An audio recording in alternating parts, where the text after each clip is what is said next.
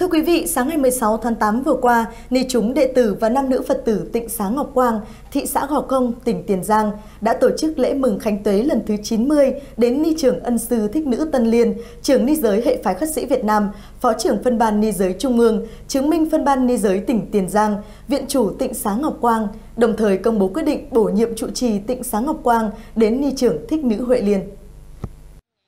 Chứng minh tham dự có Hòa Thượng Thích Giác Tường, Ủy viên Thường trực Hội đồng Chứng minh, Giáo phẩm chứng minh hệ phái khất sĩ, Hòa Thượng Thích Giác Pháp, Ủy viên Hội đồng trị sự, Chánh thư ký hệ phái khất sĩ, Thượng tọa Thích Quảng Lộc, trưởng ban ban trị sự Giáo hội Phật giáo Việt Nam tỉnh Tiền Giang, cùng chư tôn đức tăng ni thường trực ban trị sự tỉnh, phân ban ni giới, tăng ni hệ phái khất sĩ và đại diện các ban ngành địa phương. Tại buổi lễ, Ni trưởng Thích Nữ Hội Liên, Ủy viên Ban trị sự tỉnh, Phó Ban trị sự Phật giáo thị xã Gò Công, đại diện Ni chúng xuất gia và Phật tử tại gia, dân lời khánh tuế đến Ni trưởng ân sư.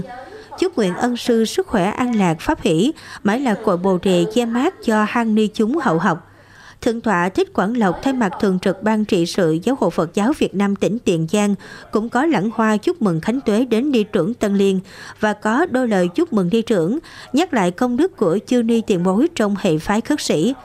Thượng tọa trân trọng sự đóng góp của ni giới nói chung và chư ni trong hệ phái khất sĩ, trong đó có sự cống hiến to lớn của ni trưởng Tân Liên và ni chúng tịnh Sáng Ngọc Quang.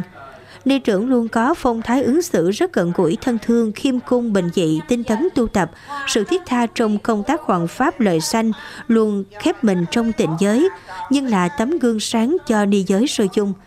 Đạo từ tại buổi lễ, Hòa Thượng Thích Giác Tường sách tấn hàng ni chúng xuất gia tại tỉnh Sáng Ngọc Quang phải luôn trao dồi kiến thức Phật học, hoàn thiện đạo tâm để kế thừa và phát triển sự nghiệp Phật tổ, thầy tổ, làm lợi lạc quần sanh, khuyến tấn các Phật tử đạo tràng tinh tấn tu tập phát triển đời sống tâm linh của mình. Nhân ngày mừng Khánh Tuế lần thứ 90, hàng ni chúng đệ tử cũng có những phần quà lưu niệm dâng lên đi trưởng ân sư, bày tỏ lòng tôn kính.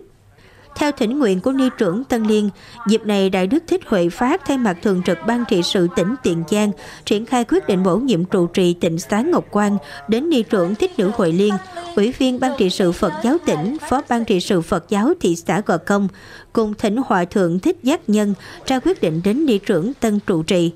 Phát biểu tại buổi lễ mừng Khánh Tuế, Ni trưởng Tân Liên vô cùng xúc động trước tấm lòng của chư ni đệ tử và sự quan tâm cùng những lời chúc mừng của chư tôn đức giáo phẩm. Ni trưởng cũng có lời sách tấn chư ni trẻ, hãy cố gắng tu tập theo tinh thần thích ca chánh pháp.